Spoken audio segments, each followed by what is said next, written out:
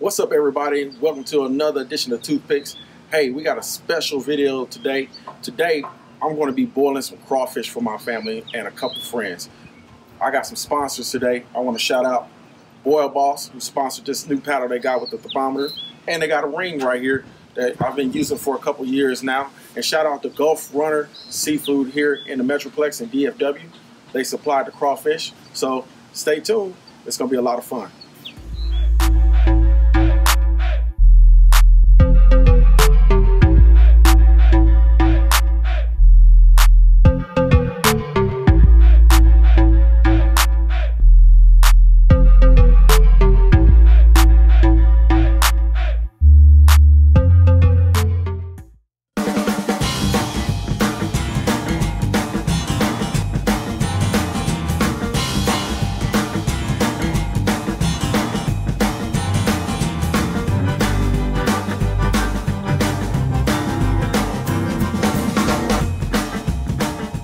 Alright guys, so I broke out the crawfish washer I picked up from Academy a couple years ago. I love this thing. Gets the crawfish real cleaned up.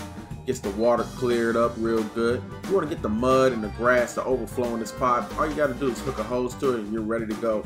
Next thing we'll be doing, we're going to step over here and we're going to get the pot lit.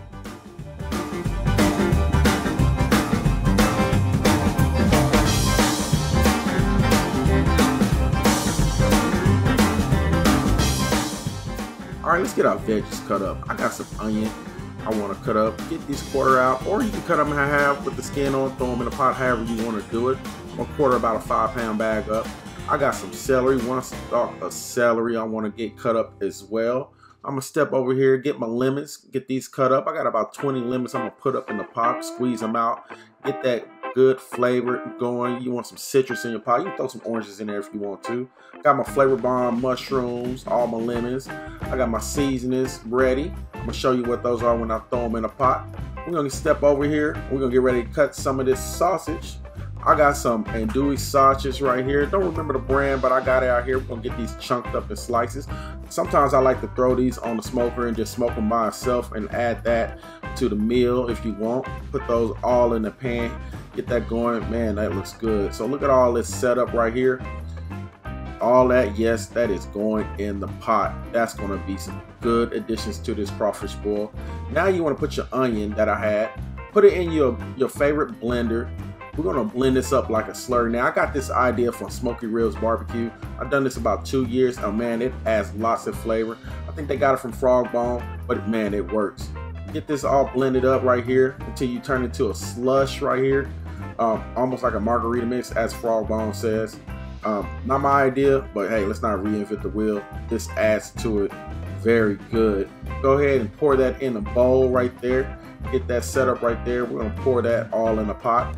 Next thing we wanna do, we wanna go ahead and get our celery blended the same way.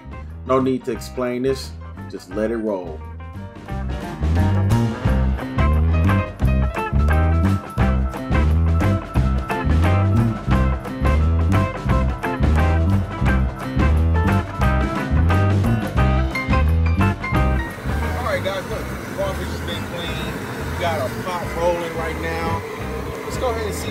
Water is. Go ahead and put the Boil Boss paddle in there. See what we got coming up right there. See how fast that's coming up. This is real neat, guys. This takes all the guesswork out of it. Really, when the water starts boiling, uh, you know it's time to put in. But I want to know how fast it's coming up, and then my soak times and everything like that. So let's go ahead and get our seasonings put in. Come over here. I got my daughter. Brianna gonna assist with everything. So first thing we're gonna do, we're gonna get some of this this boil rub, and she's gonna grab some of those crab boil mixes. You're gonna do. I got a three pound tub. I love this Zatarain's Pro Boil right here. This stuff is good. Get that poured up in the water. Wind's blowing pretty good today. Get all that poured up in there. Brianna, you can go ahead and pour a full bottle. I got two bottles of these right here. Man, that's gonna be spicy. Get another one poured up in there. There you go. I'm gonna do a whole bottle of cayenne pepper. A whole bottle of cayenne pepper right there. Get that poured up in there. Last thing, not the last thing, but I got any kind of hot sauce to do. I got some slap your mama hot sauce. Put some hot sauce with a little bit of extra tang. Get that poured up in there. Next thing you want to do, we're gonna squeeze some lemons up here. On, Brad, let's get some of these lemons. Squeeze up and drop them in there. Squeeze all that juice in there. Go and drop them in there. Woo-wee.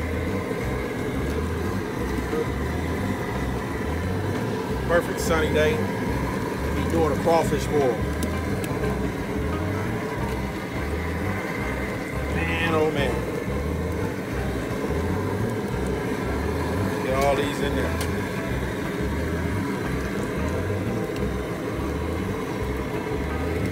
All right. I think I got one. One more.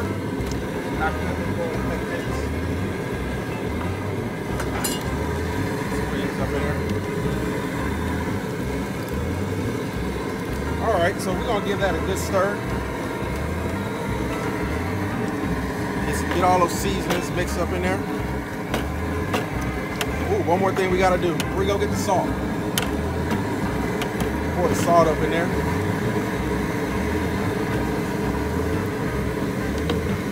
Man, that's gonna be man oh man. All right, so while that's cooking, another little secret I've learned over over the years.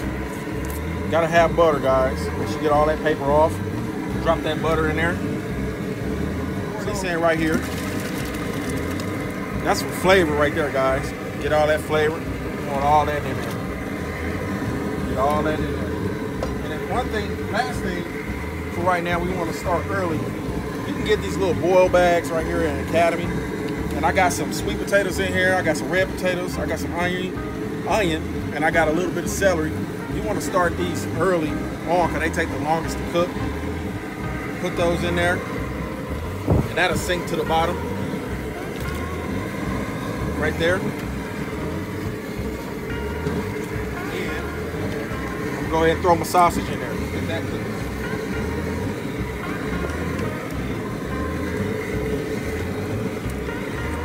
Okay, so once you get all your sauces in there, we're gonna let this come up to a boil, and then we'll get ready to throw our crawfish in there. And another thing, one thing I forgot to tell y'all guys, I got some smoked turkey necks. These boys are thick. Got it at my local Fiesta. I'm gonna pour these in there early, let them tender up, get all that boiled juice in there. Get that poured up in there. Give it another stir. Get all that pushed down. See what the temperature is now. Since I put everything in there, it might have cooled off a little bit, but it's starting to come up as you can see, steadily. When it gets over here to this 200, it's gonna be rolling a boil. All right, so let's get the top hook back on and let it let that heat retain, and we'll be checking it in a bit.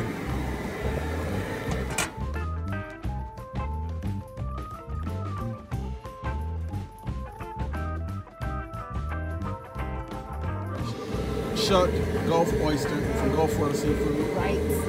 Okay. Really? There you go, sis. You go. Swallow Ew. it. It tastes great. But that, hmm, that's actually good. It's See? good. it's different when they fresh, huh? Ooh, that's really funny. Oh, we can do those again.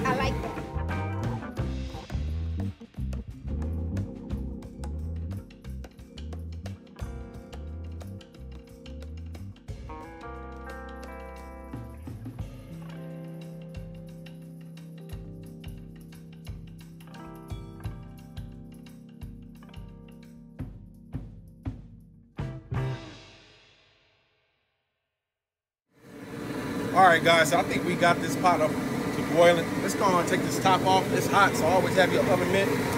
Woo wee, it's boiling good. Let's just show what the boil boss thermometer can do. I'm gonna put this in there.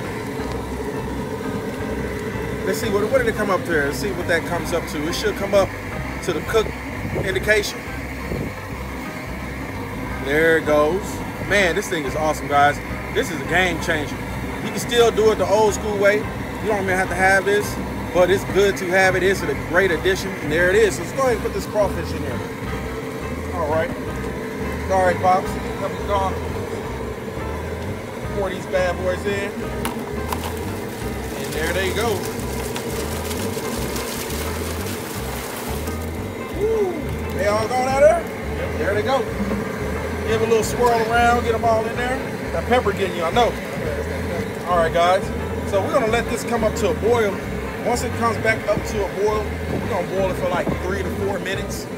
That's it, cut the fire off. I'm gonna put the boil boss ring on it and we're gonna show you how we use that to get the temperature down fast without putting ice in it to dilute your season. Stay tuned for that.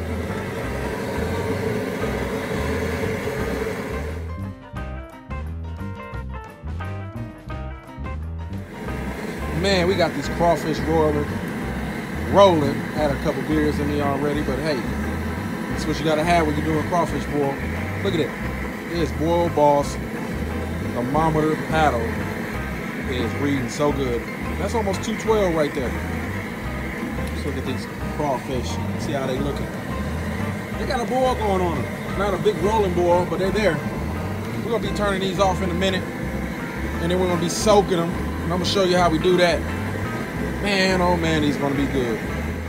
All right, guys, these things have been boiling about four minutes. Once you get up to the rolling boil, that's when I start counting. It doesn't take that long for it to come up. I'm gonna go ahead and turn off this heat. Get it all closed up. Get everything closed up real good. So next thing we're gonna be doing, I got the boil boss, this ring right here, pot ring. So all we do is put this on here. We're gonna set it right there. This is the best time that we're gonna put our corn in there. Let's get our corn and mushrooms in there. Get all that in there. All right, guys. And then you wanna put shrimp. You wanna put that last. All right, put the shrimp in last because you don't wanna overcook that right there. That's that fresh built shrimp right there. Got a little more. Got it picked up from Gulf Runner Seafood here in Dallas. All right, so I'm gonna take this right here. And I'm gonna push those down right there. Now when we turn on this boil boss, right, it's gonna hit water on the outside ring. So I'm gonna turn this on right here.